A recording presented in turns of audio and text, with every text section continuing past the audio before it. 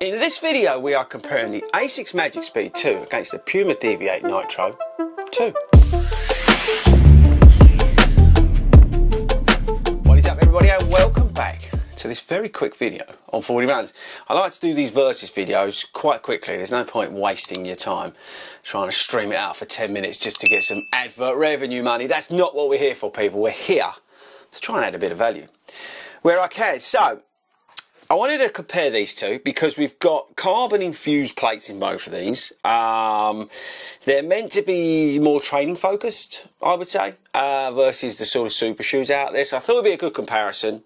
So let's get stuck in. Okay, people, let's go through stats and features. Let's start with the Puma, the Puma. So we've got 140 pounds here uh, of shoe. You can get it a bit cheaper than that. We've got Nitro Elite layer uh, of, of, foam in the shoe now. Carbon infused plate, like I said, uh, six mil drop.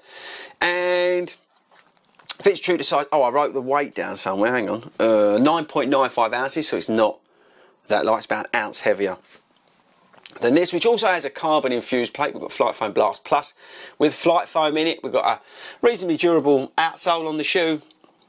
Again, fits true to size, but it's 170 pounds. Now that's a lot of money for that shoe. Um, so yeah, okay, right. Why am I comparing these? Well, they both got carbon infused plates in them. Uh, they're both meant to be sort of used for training miles.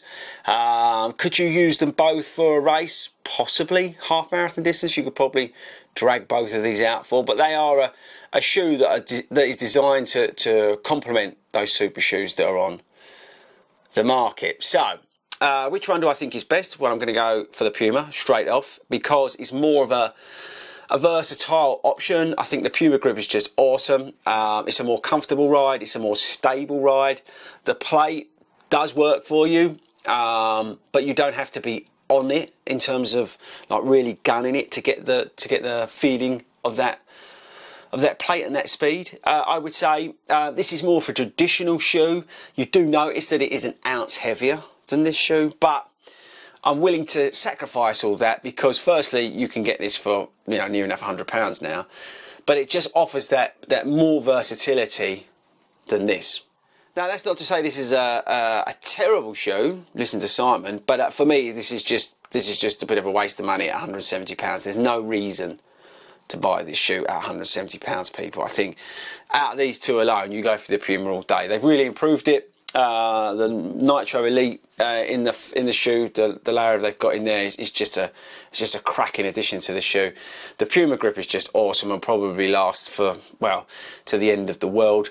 And yeah, you can't ask for any more than that really from this shoe. But it is more daily focused, daily trainer focused than this. But yeah, out of these two guys, go for the Puma.